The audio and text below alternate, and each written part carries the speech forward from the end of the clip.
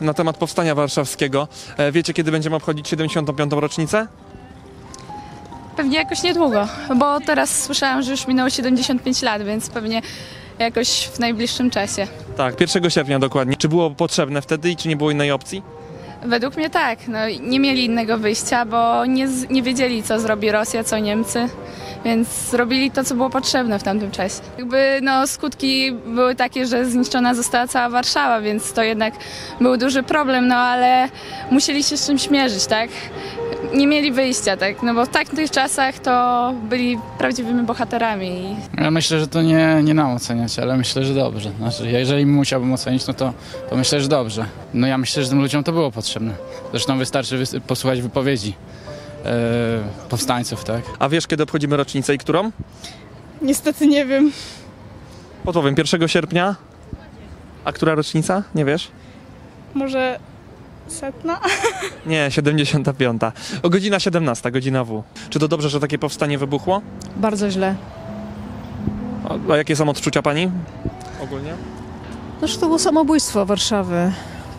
Bardzo źle przygotowane i w świetle wiedzy, którą teraz mamy, i ci, którzy przygotowywali to powstanie, wiedzieli, że nie ma broni, że ci, którzy mieliby walczyć, nie są zawodowymi żołnierzami, że walczyć będą z prawdziwą armią niemiecką, dobrze uzbrojoną, z wyszkolonymi żołnierzami. Pchnęli młodych ludzi, studentów, młodzież, tych, którzy powinni, ży- powinni żyć po wojnie i budować Polskę, pchnęli ich właściwie w ramiona śmierci. Bez... Czyli takie lekkomyślne to było, tak? No to jest łatwo powiedziane, lekkomyślne. Bo Lekkomyślne to można, wie pan, podeptać tulipany, a tu e, zginął kwiat.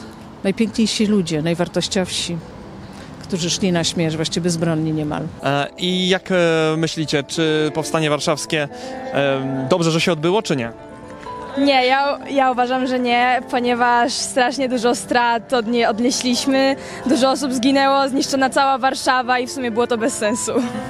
No dobrze, a jakaś alternatywa wtedy była, jak ci się wydaje? Nie no, szczerze to nie. No nie było rozwiązania za bardzo innego niż to powstanie i no i jednak ono dużo wniosło do historii Polski. To dobrze, że to powstanie w ogóle wybuchło wtedy. Myślę, że dobrze dla tych ludzi, którzy tam byli wtedy, bo im to było potrzebne. Wiadomo było, że to przyniosło szkody niesamowite i w ludziach, i e, no, miasto bardzo zniszczone, ale moralnie na pewno. Czyli to pragnienie wolności takie wewnętrzne. Proszę pana, ja też bym walczyła wtedy na pewno. Ja pewnie też. Na stówę. Mam taki charakter, żebym się w to wkręciła. Także no ja myślę, że słusznie. ale według mnie niepotrzebnie wybuchało. Najgorsze to, że Amerykanie chcieli, żeby warszawiacy przywitali Sowietów otwartą Warszawą, dlatego ten zryw nastąpił. No wiele takich tych, tych powstań było. Było parę takich. Nie no na pewno dobro. A to, że śmierć tylu osób, że zniszczona Warszawa?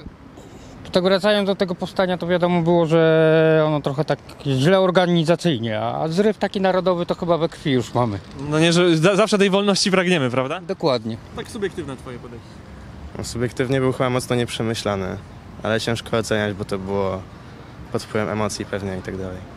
Czyli nieprzemyślany, ale na pewno był potrzebny był taki zryw. Nie wiem, czy był potrzebny. Chyba tak. Chociaż strasznie dużo, za dużo ludzi zginęło. Ale no, sprawiło to, że w końcu jakoś poczuliśmy się wolni, że możemy sami jakoś. W sensie. Myślę, że tak. Czyli ogólnie na plus, że takie coś się pojawiło, taki zryw. Tak, tylko że szkoda, że aż tylu ludzi musiało zginąć, żeby. A i tak. Tak naprawdę to nic nie dało. W sensie nam dało. W sensie umysłach pewnie naszych dziadków to było coś takiego, że dali radę, że coś jednak zrobili, że walczyli. I dla mnie też jest po prostu coś takiego, że oni dali do ostatnich sił walczyli, żeby jednak, żebyśmy teraz byli wolni, więc myślę, że to jednak była dobra decyzja.